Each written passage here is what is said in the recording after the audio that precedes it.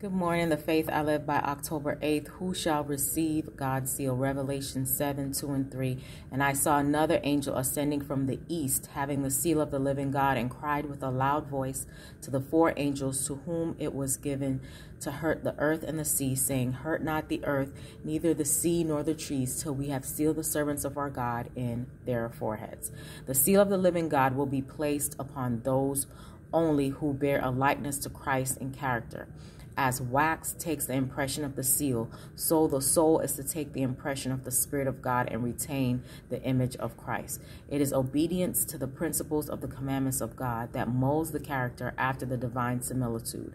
The seal of God's law is found in the fourth commandment. This only of all the ten brings to view both the name and the title of the lawgiver.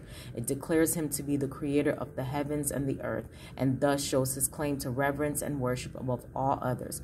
Aside from this precept, there is nothing in the Decalogue to show by whose authority the law is given.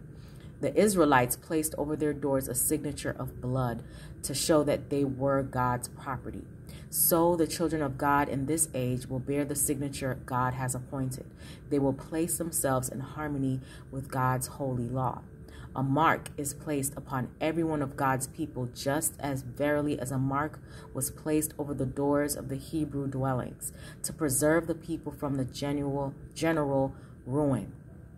God declares, I gave them my Sabbaths to be a sign between me and them, that they might know that I am the Lord that sanctifies them. Ezekiel 20, verse 12.